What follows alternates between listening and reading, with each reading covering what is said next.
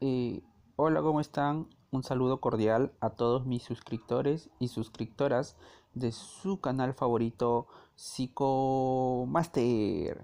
Bien, el día de hoy me acaba de llegar muchos mensajes, ¿no? Eh, de muchos suscriptores y suscriptoras, las cuales tienen dudas, inquietudes, ¿no? Acerca de un tema muy importante y muy relevante para que ustedes puedan el día de hoy, eh, ¿no? Tener conocimientos. Y bueno, estas personas me escriben preguntándome acerca de que acaban de estar con sus parejas y al momento de eyacular eh, ellos quedan con la duda de saber eh, cuánto tiempo pueden vivir los espermatozoides ya sea dentro de la cavidad vaginal de la mujer o cuando son expulsados al aire libre. ¿Ok? Entonces ellos tienen esas dudas, me preguntan muy preocupados, ¿no? Eh, y quieren saber cuál es el tiempo de vida de estos gametos que son expulsados por el hombre al momento de la eyaculación. Eh, bien, entonces respondiendo sus dudas y sus inquietudes, el día de hoy nuestro tema a tratar eh, justamente es ese, ¿no? ¿Cuánto tiempo pueden durar o cuánto tiempo viven los espermatozoides dentro de la cavidad vaginal de la mujer o cuando son expulsados al medio ambiente.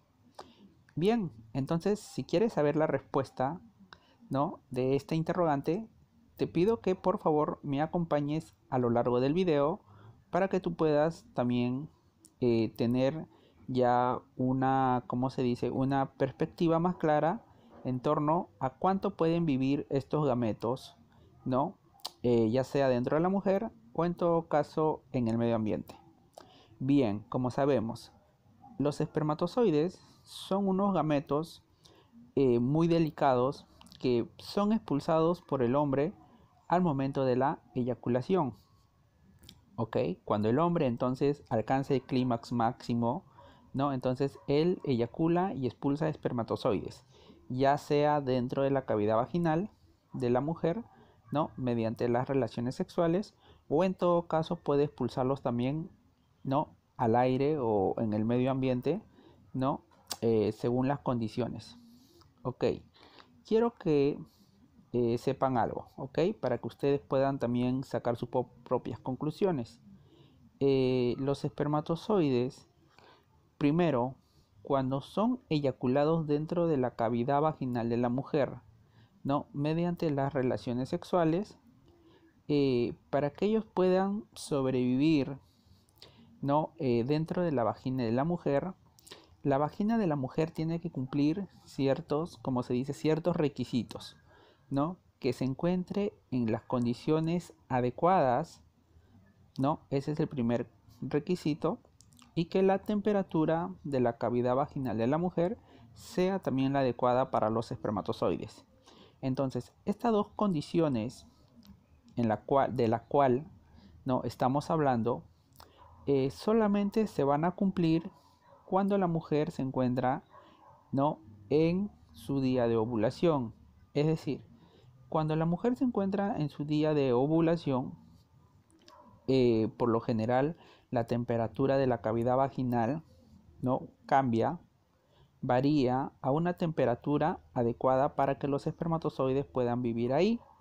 Y también la concentración del pH de la cavidad vaginal también cambia, ¿no? A, unos ciertos niveles que también son favorables para que los espermatozoides puedan vivir ahí.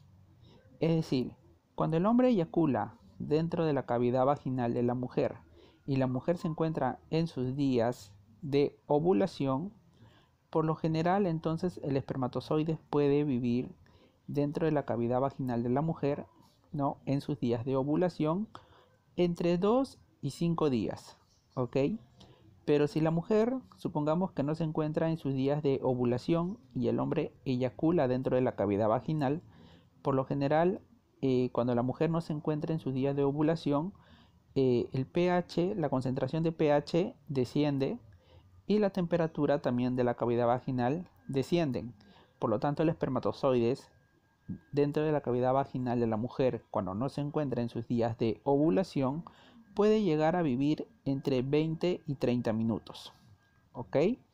Entonces quiero que ustedes tengan en cuenta eso. Entonces, ¿de qué depende que el espermatozoide pueda vivir más o menos tiempo dentro de la cavidad vaginal de la mujer? Entonces, depende de dos factores muy importantes, como hemos dicho. Uno, la temperatura y dos, de la concentración de pH que tenga la cavidad vaginal. Entonces, si la mujer se encuentra en sus días de ovulación, la concentración de pH es alta y la temperatura también es alta. Por lo tanto, son condiciones favorables para que los espermatozoides eyaculados dentro de la cavidad de la mujer no puedan llegar a vivir entre 2 y 5 días.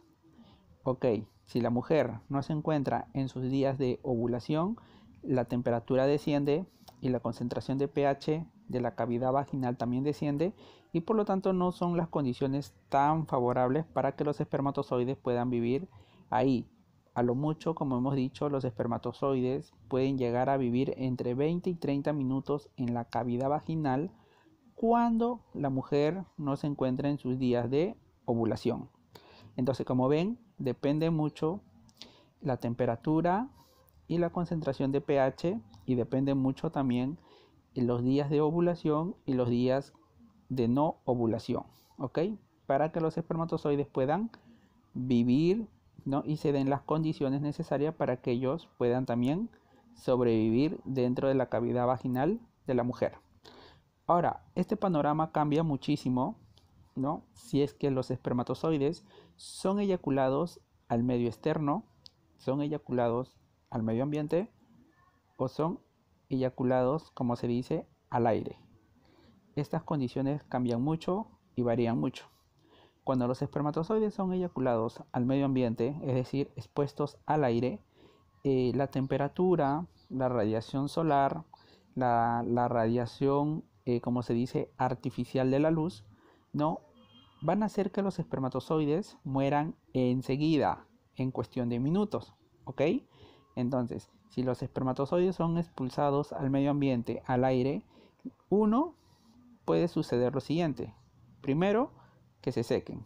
¿Ok? Si el espermatozoide se seca, prácticamente ya están muertos. Porque ya perdió movilidad, ya perdió esa facultad para que puedan nadar. Y como hemos dicho, los espermatozoides son gametos muy delicados que al no encontrarse en las condiciones adecuadas, como son eh, la concentración del aire, la concentración de CO2, eh, como son por ejemplo la radiación solar, la luz artificial también, en este caso, entonces lo van a secar y lo van a matar en cuestión de minutos. Entonces, cuando también, por ejemplo, los espermatozoides son expulsados al aire, pierden rápidamente lo que viene a ser la facultad para que ellos puedan nadar, o sea, es decir, pierden la movilidad.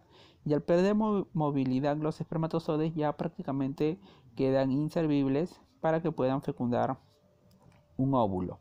Entonces, por eso les digo, cuando el hombre eyacula en el, en el aire, es decir, eyacula, por ejemplo, en la cama o cerca a su pareja o en el piso o en la pared o eyacula en la taza del baño, entonces es imposible que se dé un embarazo en esas condiciones. Porque como hemos dicho, los espermatozoides, cuando son expulsados al aire o cuando son expulsados al medio ambiente, rápidamente pierden la facultad para que puedan fecundar, ya que quedan inmóviles o se secan o de plano ya quedan totalmente inservibles para lo que viene a ser la fecundación. Así que no se preocupen más. Bien, entonces, para cerrar la idea, los espermatozoides dentro de la cavidad vaginal, siempre y cuando la mujer también se encuentre en sus días de ovulación, los espermatozoides pueden llegar a durar entre 2 y 5 días. Si la mujer no se encuentra en sus días de ovulación, no, pero el hombre eyacula dentro de la cavidad vaginal, los espermatozoides pueden durar ahí entre 30 y 20 minutos. ¿ok? Depende mucho de si está ovulando o no está ovulando la mujer. Y bien, cuando el hombre eyacula en el aire, en el medio ambiente, cuando es expulsado, ¿no? Eh, como se dice, expuestos a la luz solar, ¿no? A la luz artificial, a la temperatura ambiental, los espermatozoides mueren en cuestión de minutos o segundos, ¿ok? No se preocupen más. Bien, espero que les haya gustado este video, espero que les haya informado mucho y que ustedes ya puedan ¿no? Saber en qué condiciones el espermatozoide vive más, vive menos o, o, vive, ¿no? O vive un par de días más, ¿no? O en este caso un par de días menos. ¿Ok? Les mando un saludo cordial a todos mis suscriptores y suscriptoras. Espero que les haya encantado este video. Denle like por favor y suscríbanse a su canal favorito Psicomaster. Bien, ya nos vemos hasta una siguiente oportunidad. Cuídense mucho.